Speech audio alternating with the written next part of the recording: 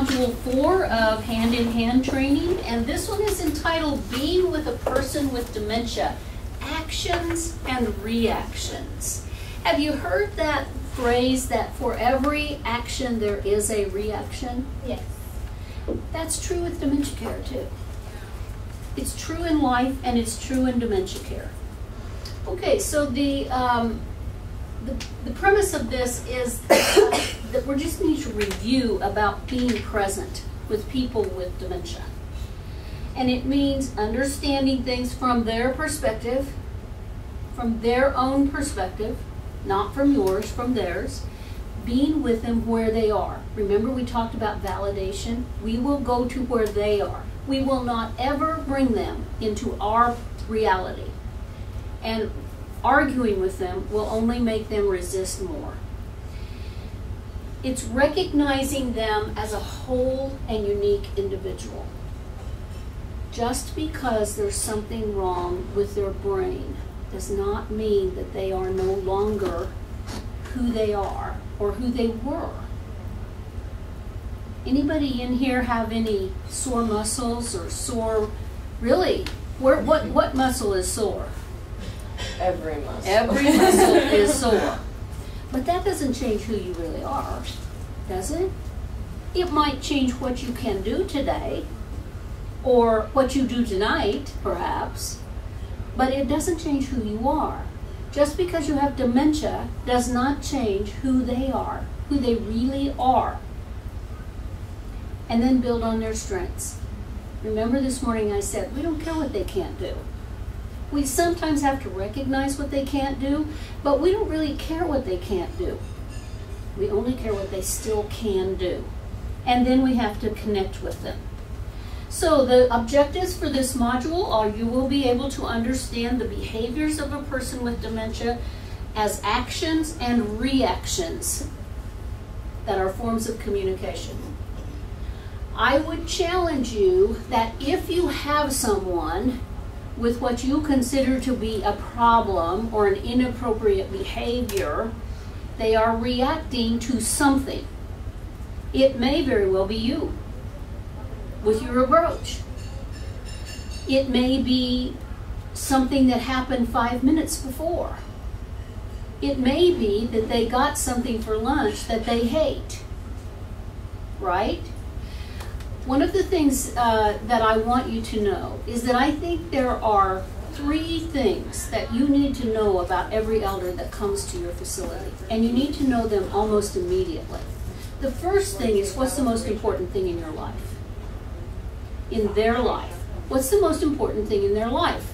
So, what would we hear? If I ask you that, what would I hear? Children. Children. Spouse. Spouse. Pets. Pets. Sometimes I hear family. Sometimes I hear faith.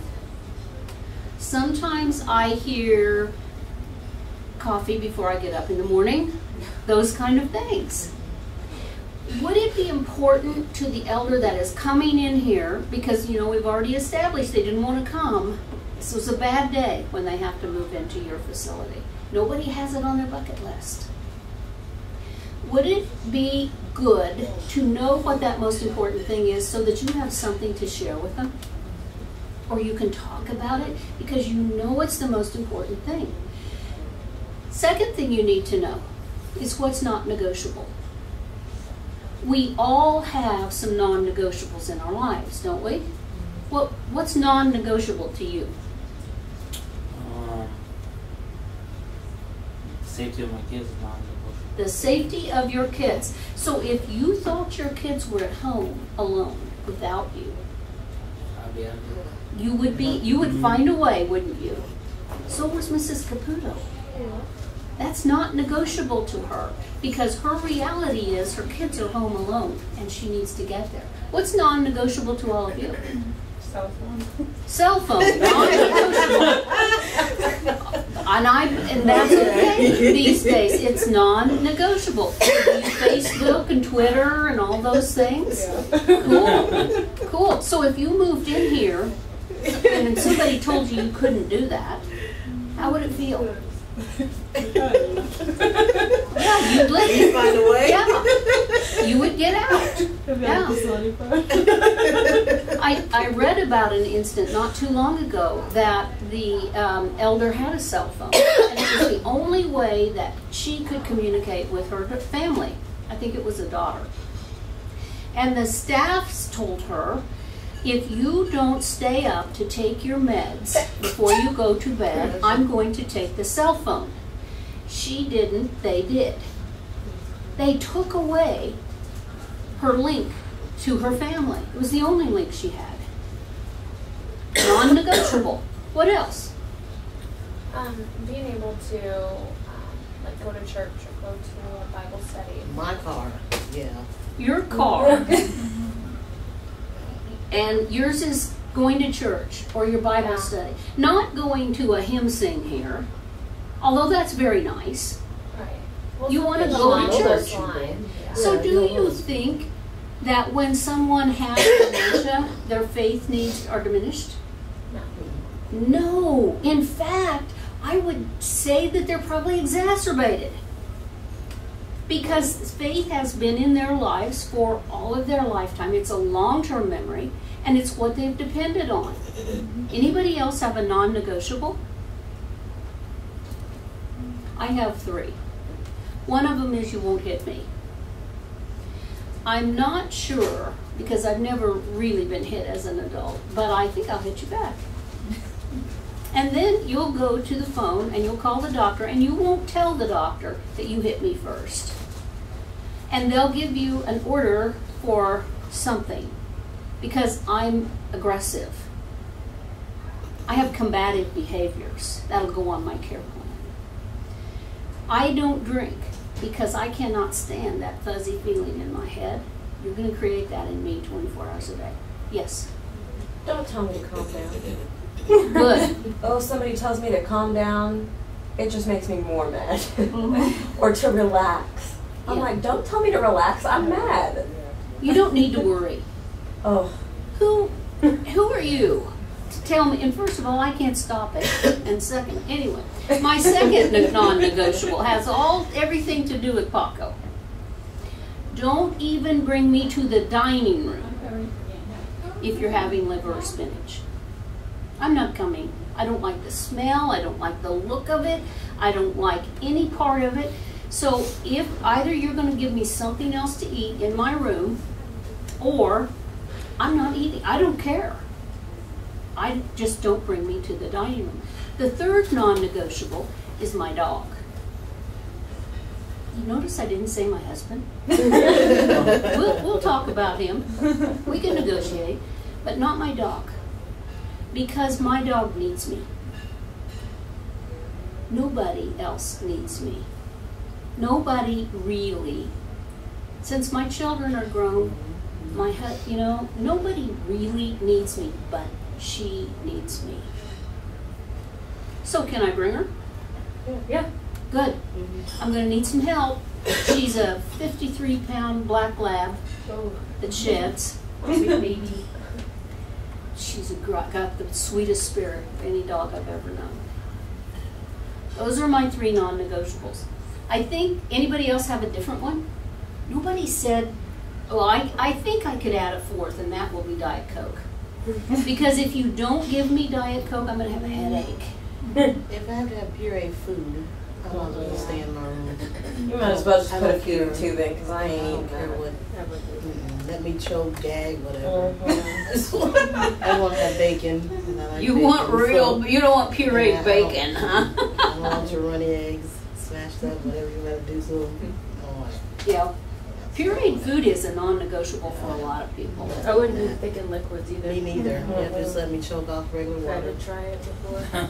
I hope you I'll have an sign the advance directive. Yeah, I'll sign the paper, just let me Okay. I do it. okay. Just let me. I would count myself. Okay, the third thing I think you need to know when they come in is what's their comfort food.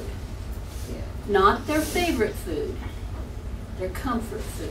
What food do you go to when you're stressed? Mac and cheese. Mac and cheese, Chocolate ice cream. chocolate ice cream. All right. Chocolate peanut butter. What? Anything chocolate. Yeah. Anything chocolate. Room full of women, obviously. and Paco. What's your comfort food, Paco? Being a cook, I don't think I have. Really?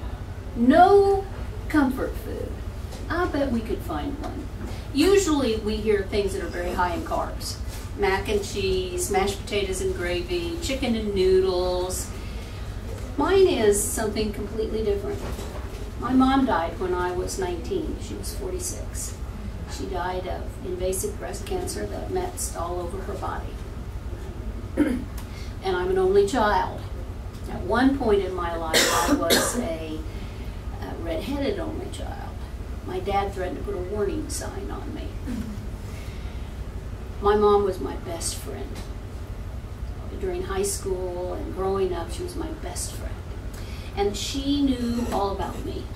So if I'd had a bad day, for dinner that night, there was a bowl of warm, homemade tapioca pudding with a little bit of whipped cream on top.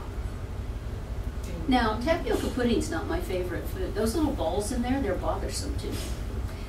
But when I eat tapioca pudding, I feel safe.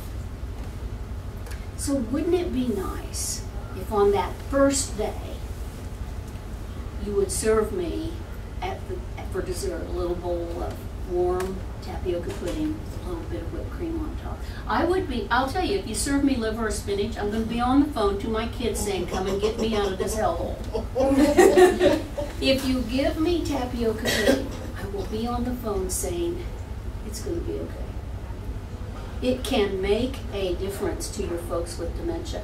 If your folks with dementia start having some escalated behaviors, what if I were that person and you would come and say, I know where there's some tapioca pudding. I may have I may be in mid to late to end stage dementia, and still I think I will recognize safety with tapioca pudding.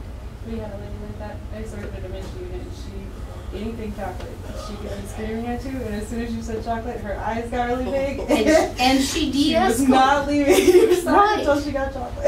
right. So it made her actually feel better. And that's what we're trying to get to, isn't it? So how many of you know your elder's comfort food? I know one of them. What is it? Chicken fried steak and mashed potatoes. Chicken fried steak and mashed potatoes and gravy. Catfish. Catfish. Chicken fingers and onion rings. What? Chicken Fingers and onion rings. chicken fingers and onion rings. Cheese makes them feel better. Cheese puffs makes them feel better. So do you use that as an intervention for your dementia behaviors? Because that's what we need to know them so well that we don't have to ask. And let me tell you, once they come in here and they're in mid to in to late stage or late to end stage dementia, it's not the time to try and figure that out. You need to watch them. You also need to ask family. So, anyway, so those are the three things I think you need to know about them when they come in. Okay, you're going to identify ways to prepare for, prevent, or respond to actions and reactions for a person in dementia. I want to spend just a few minutes talking about some non-pharmacologic interventions because this is not included in the PowerPoint, but I think it's important. We were we had a conversation earlier about running. What happens when we physically exercise? Heart rate. Elevated heart rate. What? Uh, we increase our heart rate. We get tired. We do. We get a, a natural fatigue. Your And- lungs burn. Your lungs burn. Yeah, sometimes. We also get those natural endorphins. that keep us Endorphins. And endorphins are a natural high. They just elevate your mood. It becomes addictive. You know, marathon runners, if they don't run and they don't have that rush of endorphins, they get depressed. They physically change. So use physical exercise for your people with dementia as, as an intervention, as a prevention for behaviors. Get the endorphins running. They're natural. paint therapy, music therapy, there is so much research out now about the benefits of music therapy. The music center of the brain is in the temporal lobe. And no matter what, that center is not affected. So now make it the music that you they like. You mean they don't like rap? I don't. if you would put rap on in my room, I think you would see me elevate. If you would put semi-classical, that kind of music on, I think you would see this. My husband, it will be classical music. You need to know what their preference is. You need to be asking as activity and social service. But she is not the person that's responsible for moments of pleasure for your elders. Everybody, especially your dementia elders. I agree with you. I hundred know it. She agrees with me, and she, I am her friend, probably for a life. Her job as activity director is to plan the big things. We all do some big things. I heard some big plans going on tonight football games and movies and things like watching the Royals and all of those things. And that's her job to plan some big things. But moments of pleasure for a person with dementia is a very personal and individual thing that needs to be done by everybody. Hakos could certainly add to my pleasure sometimes just by sitting down with me and asking me if I want a Diet Coke. Could I drink a Diet Coke with you? That kind of thing would bring a moment of pleasure to me. That's what we're looking for. We're looking for moments. We're not looking for a lifetime of turning this thing around. We're not going to do that. Rocking chair. You have some rocking chairs here? They're kind of like rocking chairs. They rock, but they don't recline. No. So the University of Rockhurst did research, and when you rock for 15 minutes, melatonin stays in your body for six hours. Melatonin, you all know what that is? It's a sleep enhancer. You go to the grocery store or the drugstore or Walmart or wherever you go and you buy a little bottle and it makes you go to sleep. It, it helps you go to sleep. So if you rock, if an elder with dementia rocks for 15 minutes, melatonin will stay in their body for six hours. That's pretty phenomenal, isn't it? And it's not a pill, and it's not a, it's it's not any pharmacologic intervention. It's just meeting them at their need. It's just knowing some things. Art therapy is also very helpful. Horticultural therapy, pet therapy is very, very important. I will tell you a story. I, I taught dementia in southeast Kansas, and um, at the end of each presentation, I give them my contact information, although you won't have my contact information. But I give them my contact information, hoping they won't call me. Well, they did. and they had a very uh, sexually aggressive man. He would walk up to somebody and touch them where they didn't want to be touched or grab them where they didn't want to be grabbed. And so what happens when we have that? When that happens to us? What do You we just say something real nice. We've had one of those. Well, mm-hmm. staff eventually back up. They don't want to go close to them, right? Mm-hmm. Because you don't want to be touched or grabbed. And they could not turn this thing around. So we talked through interventions and, oh, yeah, we tried that, we did that, we did that, we did this. And I finally said, Do you have a pet? Facility pet? Well, we've got this cat hanging around the back door. We've been thinking about getting it declawed and, and uh, bringing it in. And I said, Well, as long as you're thinking about it, it won't hurt to try. I said, Would you be willing to put it in his room? Put the litter box and the food, and you have to help him take care of it. Well, yeah, we'll try anything at this point because we don't want to have to involuntarily discharge him. They did. He has not had another behavior. Hmm. He sits in the rocking chair and pets the kid all day. He just wanted touch. That's hmm. all he wanted was touch. Just kind, compassionate touch. He didn't know he was doing anything inappropriate. He didn't know he was scaring people. He didn't know he was intimidating them. He just wanted something to touch, something warm and alive. Now, will it work every time? Absolutely not. It won't. But it worked this time, and we created pleasure for this man for a number of months. Think about what you're doing so that you can communicate with him. So let's talk about actions and reactions. An action is something you do, and a reaction is how you respond to what someone else did. And behaviors are all about actions and reactions. So, the goal of this session is to look at an example of a specific and common action of a person with dementia. You ever have somebody that I want to go home? I want to go home. I just want to go home. Yeah. Mrs. Caputo just wants to go home. What do you think about when you hear the word home? Warmth, comfort, Warmth, comfort, Familiar. familiar, family. family. All good things, right? So if you are in a place that you don't recognize as home, but you have a long term memory of what home should be, you see why someone might say, I want to go home? It's do you see why this place, this building, you must make it their home.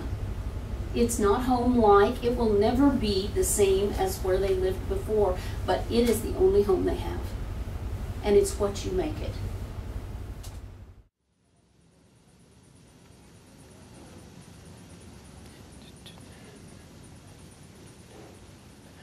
Hey, what time you got, Arthur? Ten minutes. It's almost that time. Oh, thank goodness. If you told me it was one, I think I'd just collapse. I'm so beat. Kind of like yesterday, huh? And the day before that, yep. I have to go home.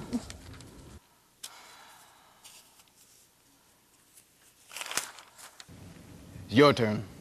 Sorry, I was here till 3.30 with her yesterday. Come on, Cindy. It's my day to pick up my kids from daycare. Well, every day is my day to pick up my kids. See you tomorrow, Arthur. Have fun. I need to go home. I need to go home. I need to go home. I want to go home. I want to go home. I want to go home. I want to go home. It's time. They'll be waiting. I want to go home. I need to go home. I want to go home. Okay, let's go. Oh, I need to go home. I need to go home now. Miss Caputo, you are home. You live here now. No, it, it's time. My children, they're there. They're going to need Miss Caputo, your children are grown. They don't even live around here anymore. Hey, there's a movie playing. You like movies, right? I bet there's a great movie playing. Let's go see the movie. No, no, no. Yeah, no, yeah, no. let's I go have see the to movie. go home Miss now. Caputo, you live here now. I do not live here. I do not live here. Miss. Caputo! I do not live here. Miss Caputo, you live here now. Let's no, go see the movie. I don't. I don't live here. I want to go home. I want to go home. I don't live here. Let's go. Yeah, You're not going live anywhere. Now you're just going to go to your room, okay? You're going with me now. wanna go All right? home. What are you still doing here, Arthur? You get off at three, don't you? Just go. I got her. You can have her. I'm out of here. All right. Uh, let me help you with this. Can, can you help me go home? I don't like him. I was looking all over to give you your snack anyway. You ready? I really need to go home. I understand, need to Mrs. go Caputo. home. I want to go home. All right. All right. I want to go home. So, what time was it? Three. Three. What time do most kids get out of school? Three.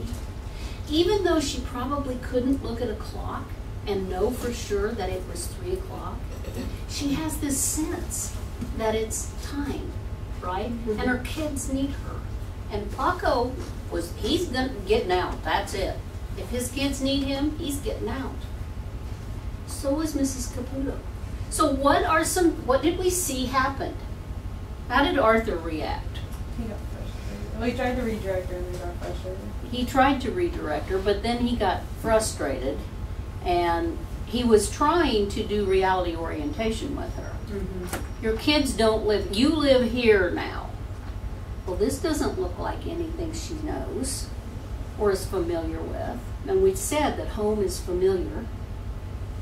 So, was she having an abnormal behavior? Not if she No. it. It's not abnormal to think that your kids are at home and you need to get there. That's not an abnormal behavior. That's just a normal behavior. We would all do that. So, why was she acting like this? What do you think? Let's do a causal analysis of this, a root cause analysis. Why do you think she was acting like this? She was worried about her kids. She was worried about her kids. That seems pretty reasonable to me. Where she is in her mind, her reality, her perception is her reality. You will not argue out of her. You will not argue her out of it. So her reaction is her kids are at home alone and they need her. So, we have seen an example of a specific and common action of a person with dementia who wants to go home. First of all, we don't like the door locked, do we? You know the code. They can't get out. How does that feel? When you are somewhere that you don't recognize, you believe that you don't belong there, and you can't get out. Very. I guess so. Scared. It would be scary, wouldn't it? Would you feel kind of like, how did I get here? Who brought me here? Mhm. Did they just drop me off or what? Are they coming back? Because my family would not do this.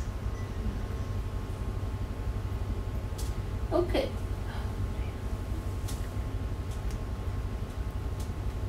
So, we need to understand the reasons that cause a person with dementia to act or react in a certain way. We need to look at the, whatever that reaction is and figure out what that reason is. It's not always easy. We have to be kind of detectives. It might be health conditions. It might be medications. There are a lot of medications that cause confusion. It might be our communication to them. Or it could be family communication. Or it could be another elder's communication. Could be the environment.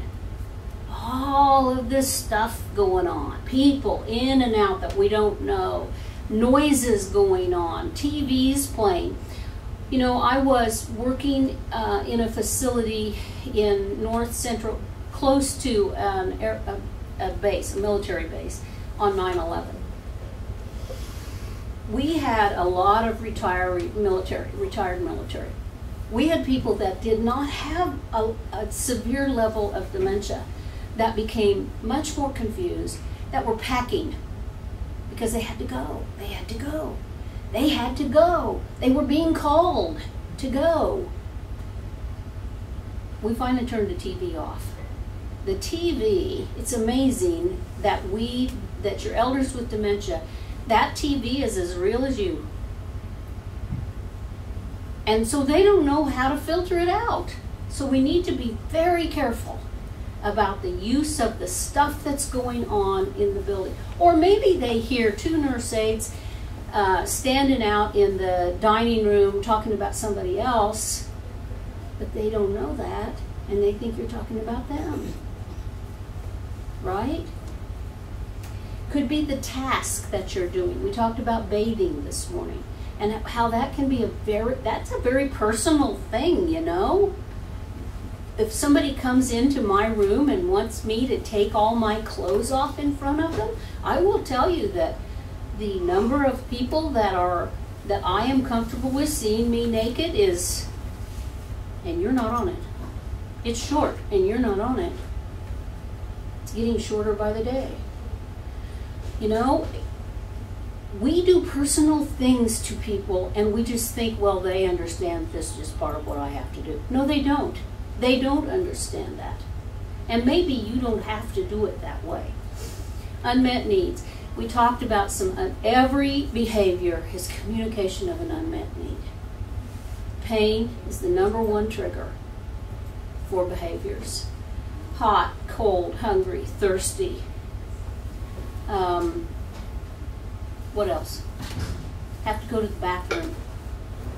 So, how many of you are involved in three-day voiding diaries? Nurse aides, are you involved in a three-day voiding diary?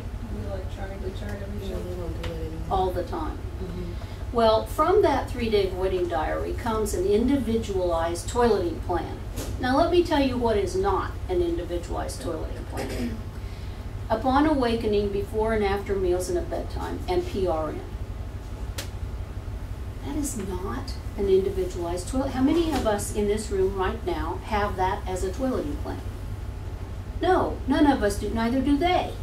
Especially if they take Lasix or a laxative or something like that. So maybe the unmet need is they have to go to the bathroom. Audrey Sundaraj, who is the head of the survey agency in Kansas, believes that 90% of falls are related back to toileting. They have to go to the bathroom. They either turn their call light on and nobody comes, and they just have to go more and more and more, and so they get up and go. Or we didn't plan ahead. So what happens if we would have taken them 30 minutes earlier before they really had to go? They wouldn't fall.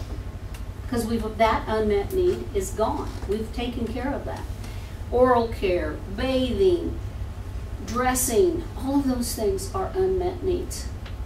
Um, residence life story. We talked this morning about the things that we need to know about the elder.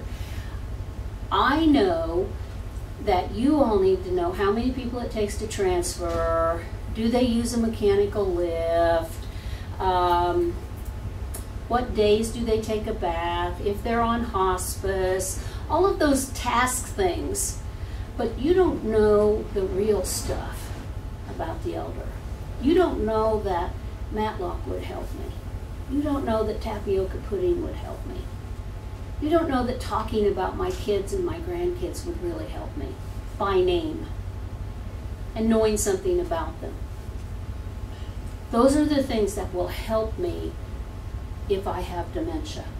And then you. Is it okay to talk about you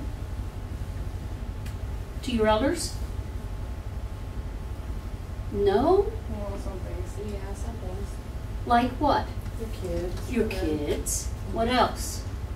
I had vacations. Vacations, Certain foods that you would. foods that you like, mm-hmm. yes. Hobbies and hobbies, yes. What's not all right to talk to them about is, man, I can't make my van payment this month. Mm-hmm. Or I can't, I'm being foreclosed on my house. Those kind of things. They have their own problems. So, but yes, you cannot have a relationship, and that's what we're talking about here. We're talking about a relationship with somebody with dementia. You can't have a relationship that only goes one way. You won't have any relationship at all. Okay. Physical and emotional needs, or health conditions, pain, vision, and hearing. They didn't hear you. Remember the communication exercise that we did this morning? We didn't understand what the person said. It was frustrating. Maybe they can't hear you. Acute illness, chronic illness, dehydration, constipation, fatigue, anxiety. We've talked about those things. Meds. This is very high on the list of, of dementia related behaviors. Side effects of new meds, any change in the behavior from adjusted dose of current meds. So we have to figure out what the resident is trying to tell us. Were you calm when they were trying to tell you?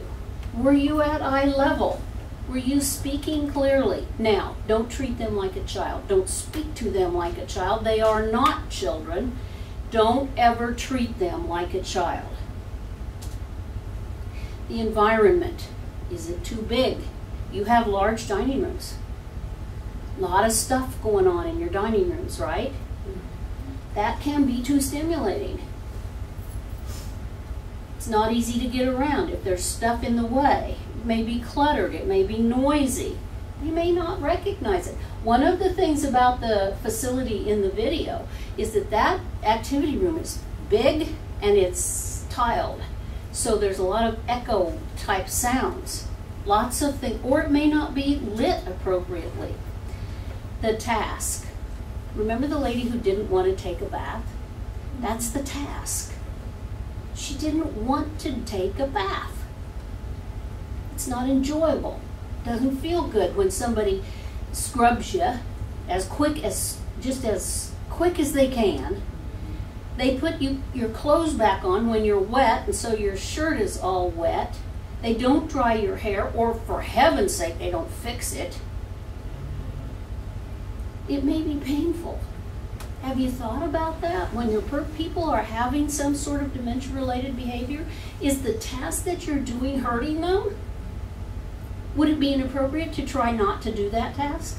Mm-hmm. No. It may be too complicated. More than one step. One step at a time. They may not understand what you said. You may not have said it in a clear and concise way, not broken down enough. Task isn't familiar to them. They're, they just don't even know what you want. Or it may be too hard. So, unmet needs may be physical or emotional, may be expressed through words instead of, it may be expressed through actions instead of words. Their life story can help you understand. This is about relationships. I don't care if it's post acute or long term care. It's about relationships. Who are they? Where did they grow up?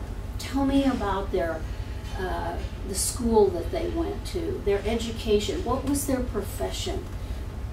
What was their first kiss like? What was their wedding like? Tell me about their children.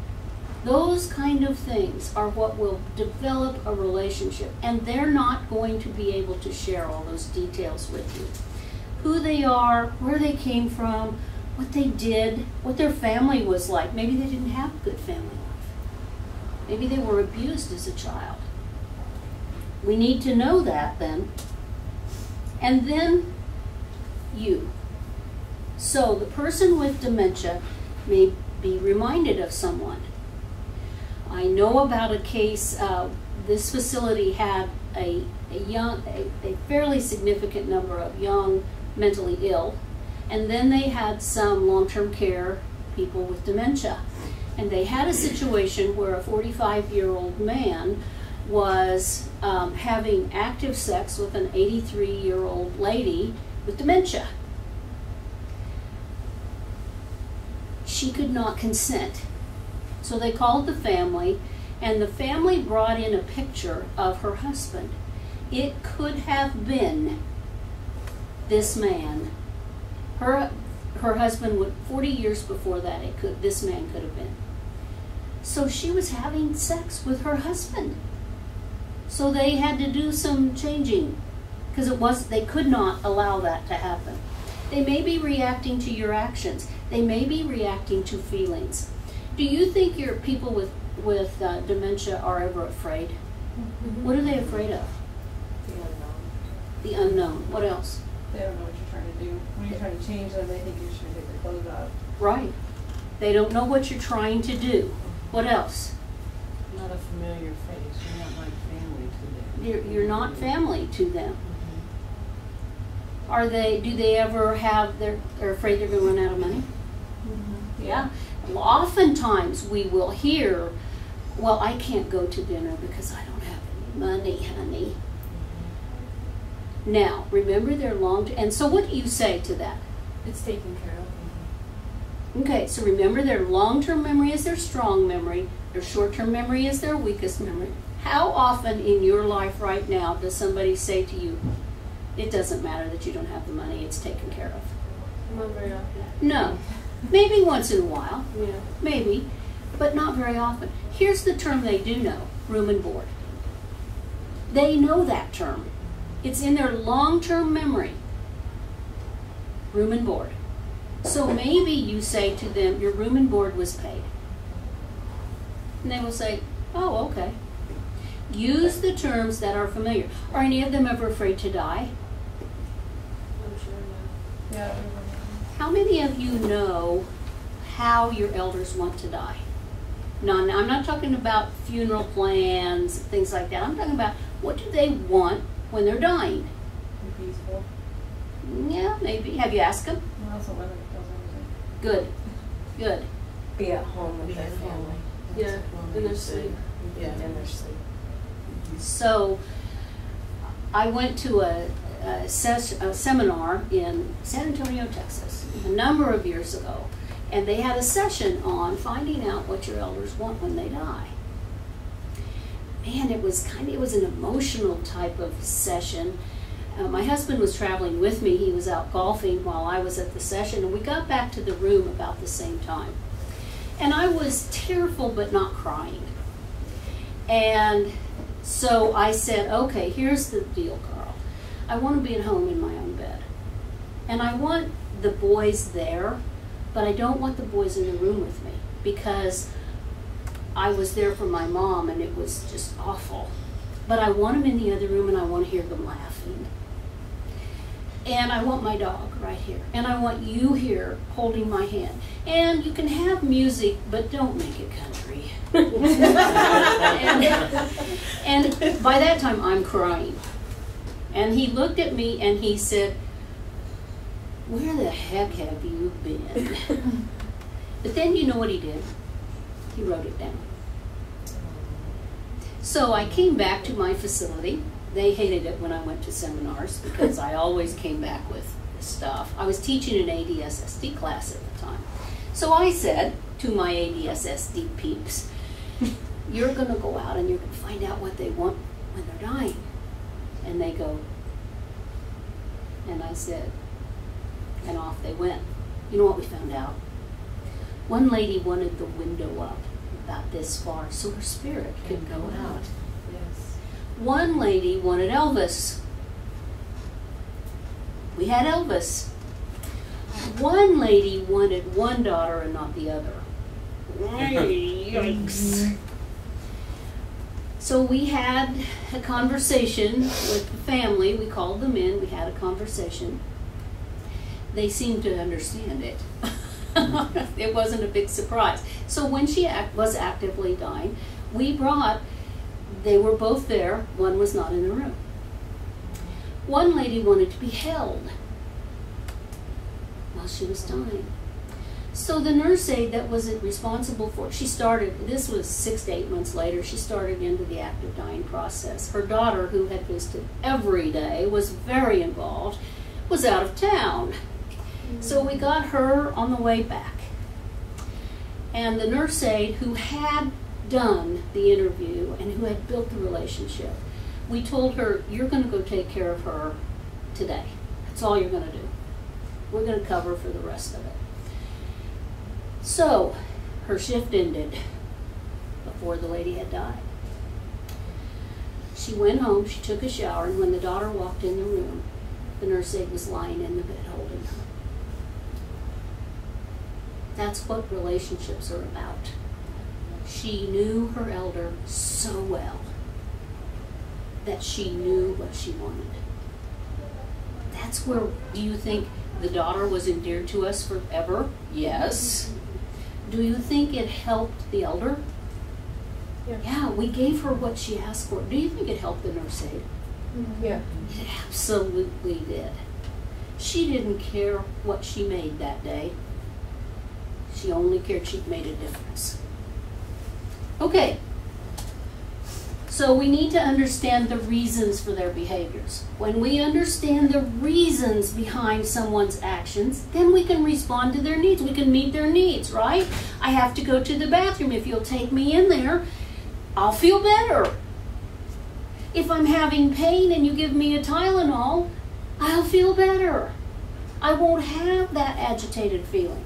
Every person has different reasons, and every person might need a different response. You think?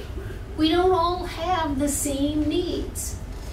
Being with a person with dementia means understanding things from that elder's perspective, not from yours.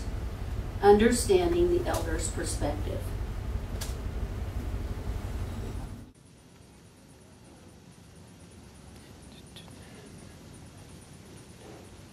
Hey, what time you got, Arthur?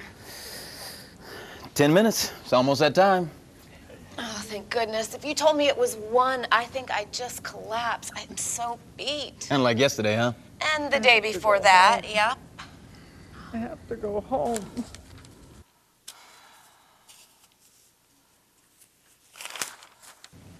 Your turn. Sorry, I was here till 3.30 with her yesterday. Come on, Cindy. It's my day to pick up my kids from daycare. Well, every day is my day to pick up my kids. See you tomorrow, Arthur. Have fun.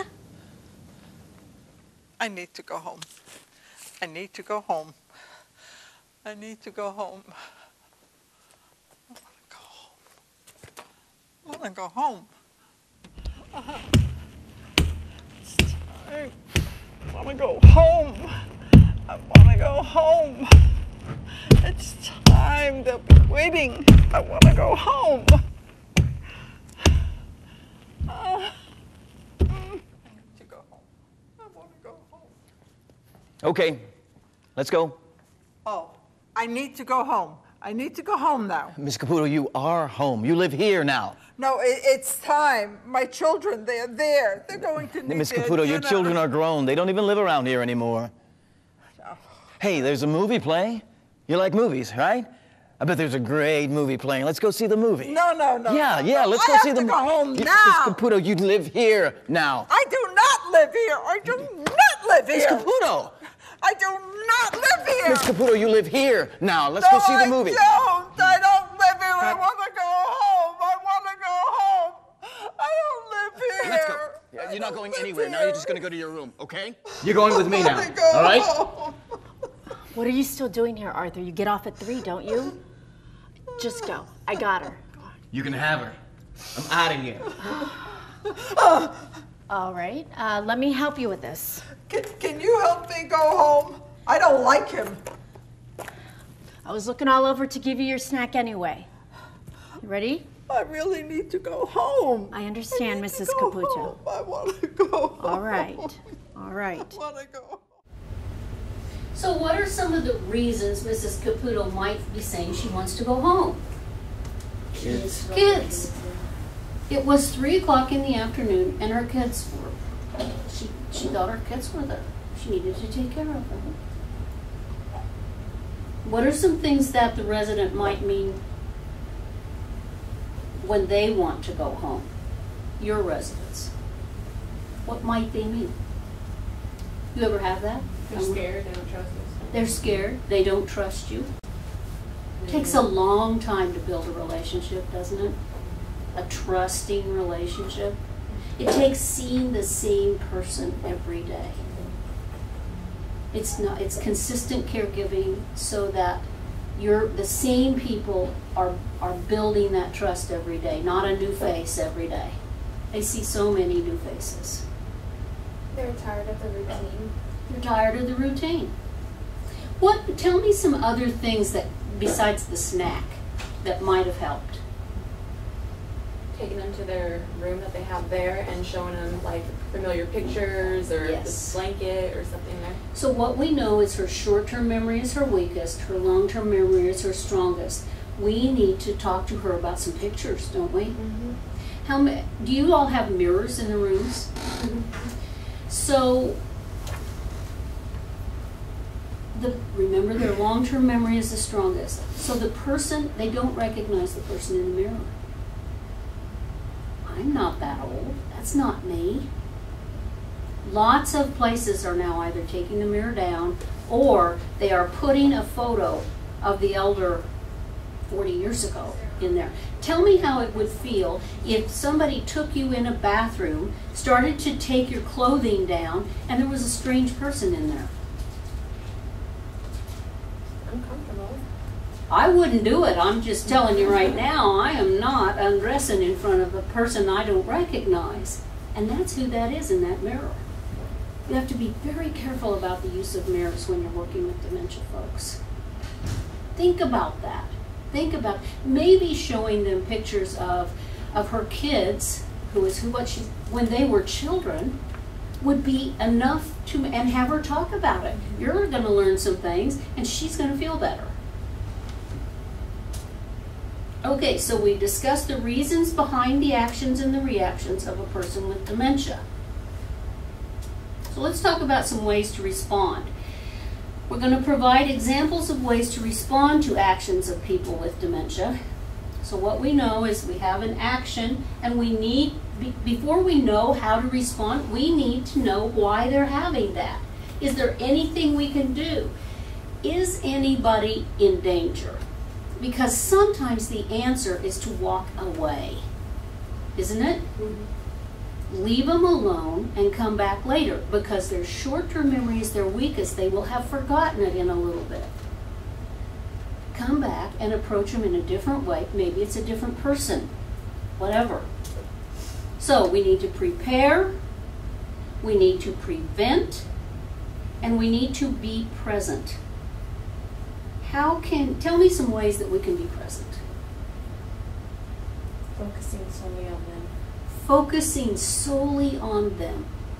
They get all of your attention. It may not be a long interaction, but while you're interacting, you're focusing on them. You're not paying attention to the people across the room or the stuff that's going, or for heaven's sake, your cell phone. Okay, great. Great. Anybody else have ideas about how we can be present? Turning the TV off so it's more one on one. Perfect. Because remember, that's stimulating. That's just causing stimulation. Okay, so preparing, knowing this person will act or react in a particular way, are there some things that you can do to prepare yourself or other staff members to respond to the action? So if you know that um, turning rock music on for me would make me more agitated, maybe you better share that with someone else so that they don't do the same thing, right? Right? Yes. Okay. So, um, where would we do that? We put it um, while you're charting. You can make a note of it. Mm-hmm. Care, like care plan. The care plan should say that Linda responds with agitated behaviors when rap music is on. Pretty simple, isn't it? Because you don't want, first of all, you don't want somebody else to go through what you're going through right now. And second of all, you don't want me to go through that. Right? Okay, do I need to ensure that I'm available to the person with dementia at a certain time of day? What we know is 3 o'clock is a sensitive time of day for Mrs. Caputo, isn't it? Mm-hmm. So maybe we'd better have a care plan that at 3 o'clock we're doing something of meaning to her to get her diverted away from this behavior. And then do I need to tell others about it? Yes, you do, and you need to do it via the care plan. How could this act prevent? We need to figure out how we can prevent it. It may happen once, but we need to figure out how to prevent it from happening again. How can you redirect the person? What is it that will divert this person away from this that's causing them distress? Is there some need, unmet need that we're not meeting? What seems to trigger the action? For Mrs. Caputo, first of all, it was the time. It was 3 o'clock. Second of all, it became the caregiver. I don't like him. I guarantee you she will remember that. Right? Mm-hmm. Yeah. So we need to figure it out. Then be present. How can you respond to the immediate need of this person? We've talked about how to be present. How can you be with them? How can you redirect them? How can you remove the source of frustration? You're not going to remove the fact that she thinks at 3 o'clock she needs to be home. So, how are you going to remove the frustration from that? And then, how can you make sure she's safe? Because she might just um, put her hand through that glass. I mean, people don't like to be locked in places.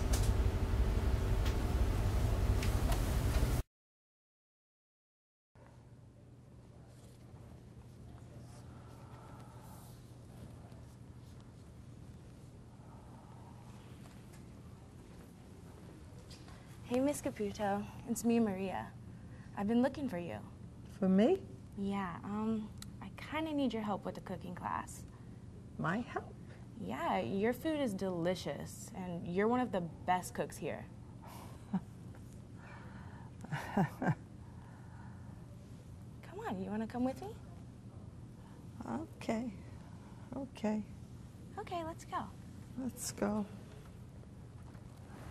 Let's go. So prior to the time that they knew she gets agitated, they diverted her into something else that was of interest to her. Was it a positive reaction? Yeah. Absolutely it was.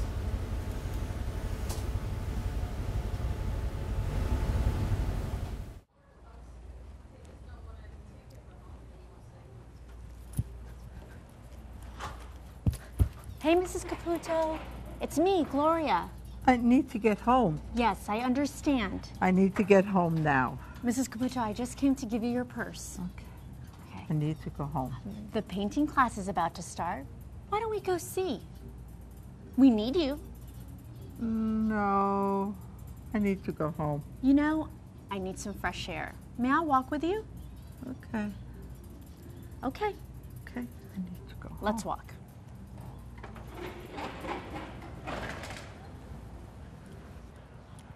What a beautiful day.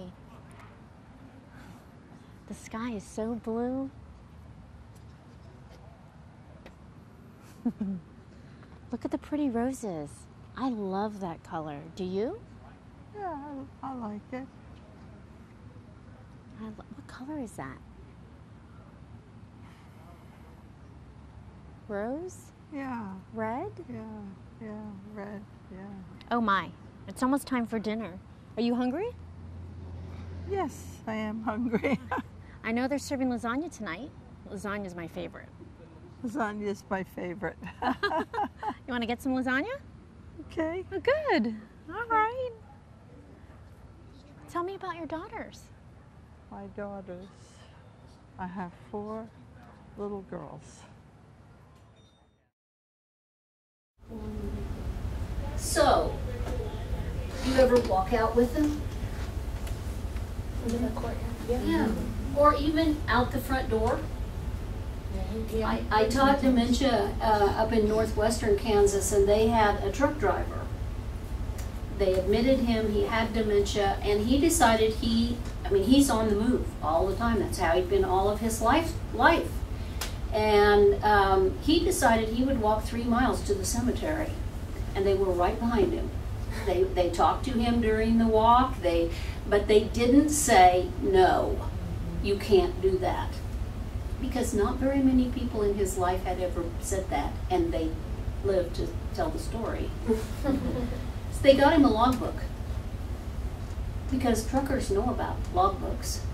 And so every time they walked with him, they logged it. He was happy. He didn't feel frustrated. He didn't feel like he was in prison. You hear that? This is just a prison. This is a jail. Well, if the door is locked and you can't get out, then yes, it is a jail, isn't it? and you're doing it for their safety. It's like physical restraints used to be. When I first got in this business, um, we used physical restraints on nearly everybody we had because we couldn't let them fall. We didn't want them to fall. That's not the right thing, is it? We tied people to the handrail with gait belts. Yeah. Okay. So, one size does not fit all. The cat, for people that are sexually aggressive, will not work for everybody. You have to individualize it to the care and the needs and the life story of each elder. And something may work for one person and doesn't work for another. That ever happen? Mm-hmm. We just realize. Here's what I. Do you like everybody you work with? I mean, like them? No. Neither do they. Neither do your elders. There are people they relate better to, right? Mm-hmm. Do you do you think they like everybody at their table? No. No. So move them, or have them move. Get them to talk them into trying some a different table. Because they have personalities. Their heart is still the same. You have to fix the, the you have to adapt the action to the behavior. So what happens when something gets out of control? We saw examples of ways to respond. And probably telling them you can't go outside. You can't go outside. No, you can't go outside will not work.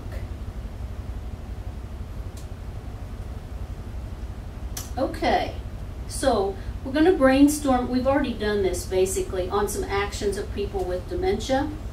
We have to figure out the why. So, why did the resident do not want to take the bath? And what are some ways to respond to them?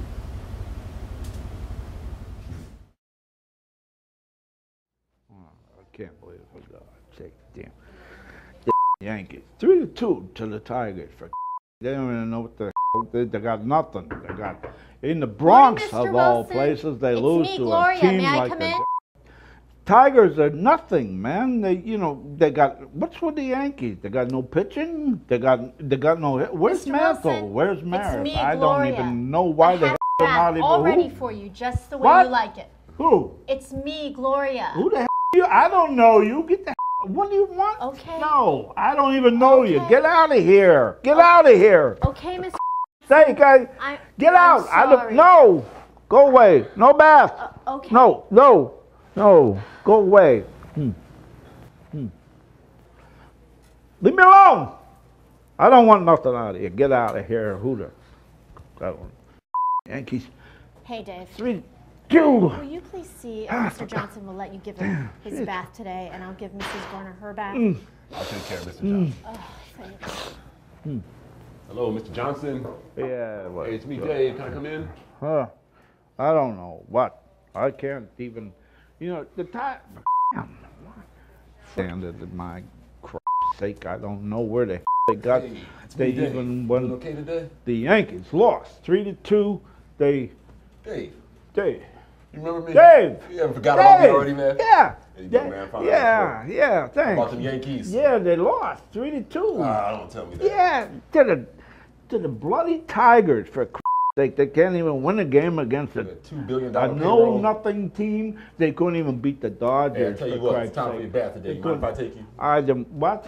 I said, you mind if I take you to your bath today? Yeah. Oh, the let's b- do bath. Yeah. Bath. About that time. Bath. Yeah.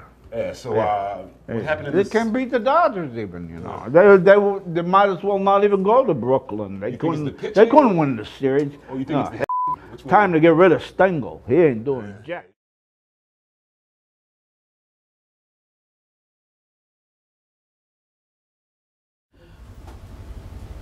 Okay, so how did Gloria respond to Mr. Johnson's refusal?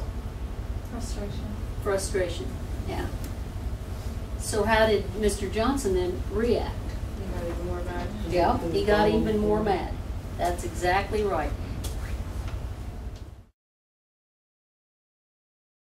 That looks great, Mr. Davidson. I'm going to go sit with Mrs. Wilson for a minute, okay? No. Okay. Hi, Mrs. Wilson. I love your collection of buttons. What are you working on today? Is that your special one? I'll be very careful with it. It's a beautiful button. Love that. Hi, Mr. Davidson. Hmm. What about this one? That's a really pretty one too, isn't it? Wonder if we could use that for your project. Look at all of these beautiful buttons that Mrs. Wilson is using for her project. Hmm. Ooh, I especially love the button that you picked out. Maybe we should put that back with the rest of Mrs. Wilson's buttons? Thank you. You look a little hungry, Mr. Davidson. Would you like a snack? Okay. I'll be right back, Mrs. Wilson. Okay? It's all right. I'll be right back.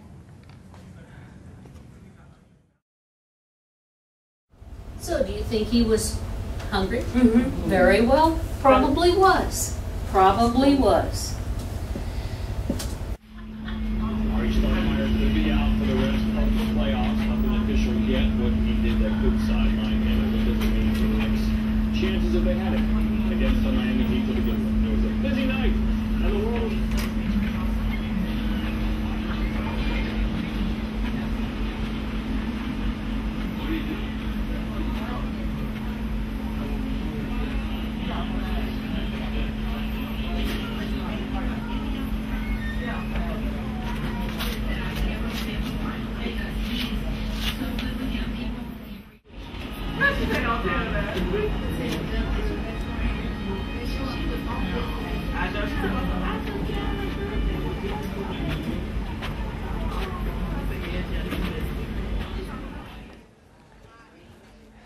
Hey, Dave. Mr. Davidson's son Paul and the nurse explained to me why Mr. Davidson is always borrowing my dad's sneakers. Good. I didn't know. It's okay. They told me the whole story. Paul said that his dad was quite the athlete when he was younger. He used to play all kinds of sports. So the nurse says that when he sees other men's sneakers, he honestly thinks they're his, so he takes them and puts them on or puts them in his room. It all makes sense now. I'm sorry I seemed accusatory before. I just didn't understand then. Hey, look, I'm I'm glad you understand. Thanks.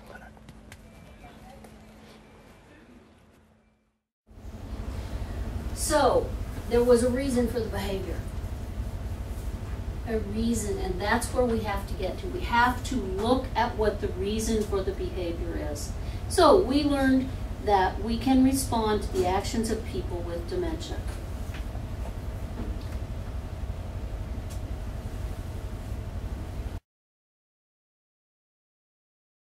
I'm so glad you picked it out because I haven't seen it yet on anybody. That's good. Oh, Oh, that is cute.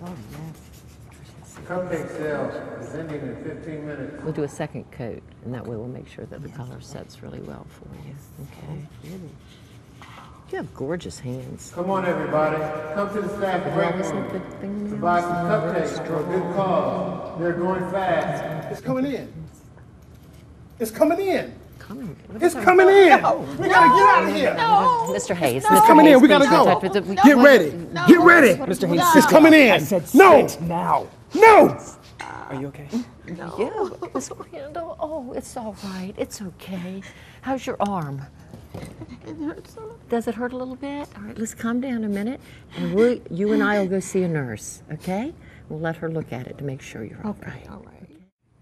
No, he has no family.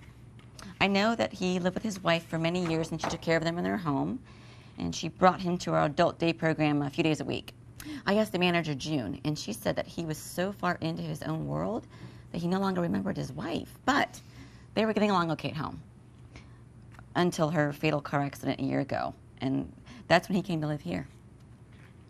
So, no kids. Mm. Okay. So, when did this behavior start? Um, let's see.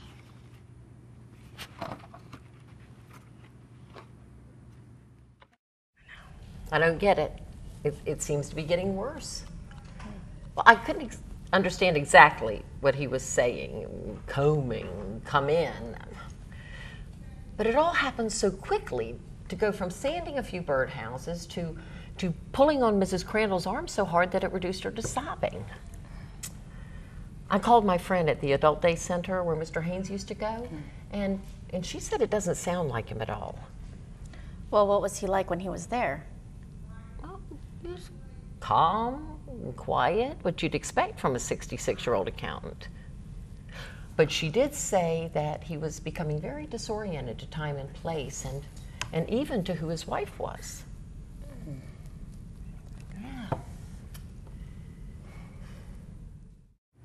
I think his behavior has been worsening with time with no real indication as to why.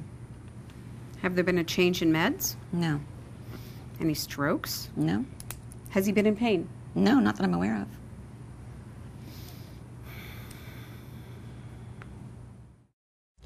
And then there was a time a few months back when Sandra, third shift, mm-hmm. well, Sandra walked in on him sitting next to this man in his 30s who was here for rehab. And she said Mr. Haynes was sitting with him, holding his wrist. And then maybe he was trying to take his pulse or something. But when she tried to get him back into bed, he was really insistent about needing to stay there. It ended up waking up that guy and caused this really big scene. Oh, he's such a nice man. You know, this seems to have all started just out of the blue this past month. Have you guys had any out of the ordinary experiences recently with Mr. Haynes? Yes, we checked for UTI, dehydration. We looked at everything. There were six different incidents in the last month, all involving other residents and some involving aggression towards staff. Okay, well, it seems there's no choice. One milligram of Risperdal, and let's start it today. Okay. Thanks, Dr. Knox. You're welcome. Well, this isn't bad like yours today. It was really very sweet. Remember when we had the Boy Scouts in a few weeks ago and they had to interview an older person for a badge? Well, the scout leader wanted each of the boys in the troop to talk to several residents instead of interview just one. Every time one of the boys walked past Mr. Haynes, he saluted him. Now, a couple of them looked at him weird, but two boys stopped and saluted him back. It was really sweet. Excuse me. Yeah, Lucas? I couldn't help but overhear you talking about Mr. Haynes. Mm-hmm. Is it okay if I share something about Mr. Haynes? Well, sure. Can I grab a chair? Certainly, yeah, come on.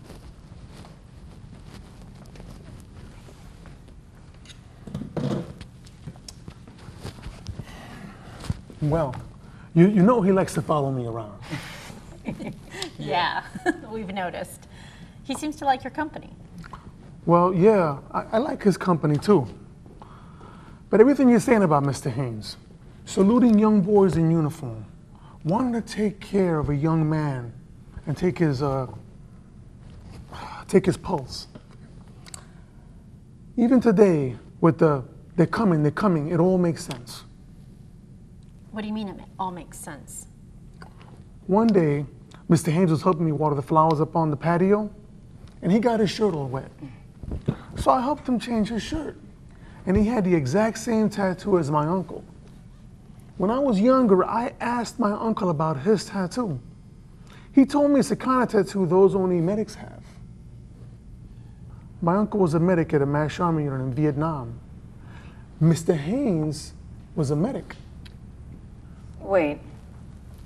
I don't get how what happened today has anything to do with that.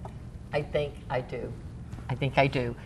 The overhead paging is like the announcements on the loudspeakers at a MASH camp during the war. MASH, the TV show? Never She's so young, you probably never even saw the show. No. show. Okay, anyway. Well, if he was a medic, hey, normally the announcements on the loudspeakers would tell the whole camp that injured soldiers were coming in. Today's reaction happened right after there was an announcement on the overhead. His reaction was totally normal when you think about it. He needed for us to go and get prepped so that we could help the injured soldiers that were coming in. And the young guy who was here for rehab, Well, I suppose if in his mind uh, he was back at the age that he was in Vietnam, the guy in rehab was around the same age in Mr. Haynes' mind. So maybe Mr. Haynes wasn't doing anything but making sure that the guy in rehab was okay. So, Lucas, what do you do if he reacts aggressively or violently when you're with him? Mr. Haynes, he never does. He might get a little excited, but you just have to imagine you're in his shoes. Be in his world. React to his feelings. Be with him. Makes total sense when you think about it. I have to make a phone call. Thanks. Okay. Mhm. Thank you so much, Lucas. I mean, that is very insightful. Thank you, I appreciate it. Thank you. Well, we'll go back to work. Hi, Dr. Knox. It's Julie Molina. I'm glad you're still here. We have some new insight into the behavior of Mr. Haynes. Would you consider delaying the antipsychotic med we talked about? This particular with residents. Okay, I'll come to your office now and explain what we've learned. Because then we could, past experiences like that. I mean, that again, excellent. And then we're going to drop them down to our side. We're going to stretch our necks a little bit. We're going to look over to the right. Don't force anything, just a nice, easy stretch. And as you come back to the center, then Good we're going to stretch over Come to on the down to the left. activity room. Very good. All right. It's okay, Corporal Haynes. Corporal Haynes, it's okay. It's okay. It's all right. We don't have to go anywhere. They don't need us today. We get to stay right here. Corporal Haynes, it's okay. We can stay here today. They don't need us today. Okay? Very good. Very good. You are doing great today, Mrs. Wilson. I just had to let you know that. And so are you. All of you are doing an excellent job today. Okay? Now we have our heads facing forward. This time we're going to drop our chins down to our chest. Very good. Let the back of that neck stretch a little bit. We have to go to where they are. It wasn't an abnormal behavior. What's one thing that sticks out? How they all got together and shared their experiences with each other to find mm-hmm. out what was going on. So the maintenance man is the one who had the key. Mm-hmm. Everybody in this building has the answers. You never know. Okay, so in this module, you learned about reframing behaviors, understanding the reasons behind actions, and identifying ways to respond to actions. Any questions or comments? Okay.